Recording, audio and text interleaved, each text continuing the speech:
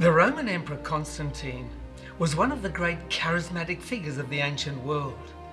No Roman emperor has had a greater impact on the modern world than Constantine. He's influenced the way we think, the way we live, and what we believe. And this is particularly true in the area of religion.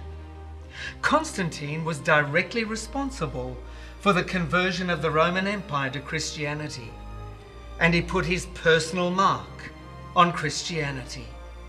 He radically changed the church and its beliefs so that it was considerably different from that practiced by Jesus and the apostles.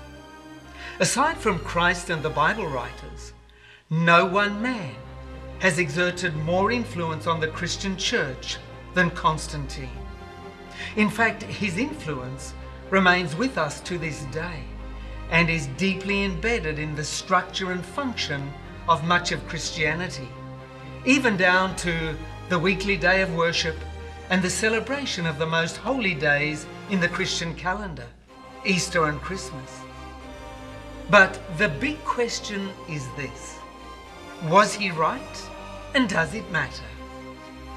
Well, there's only one way to find out.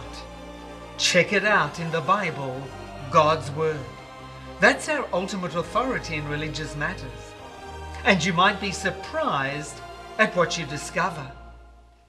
If you'd like to dig a bit deeper into this and find out more, then I'd like to recommend the free gift we have for you today. It's the Bible reading guide, The Secret of Heavenly Rest.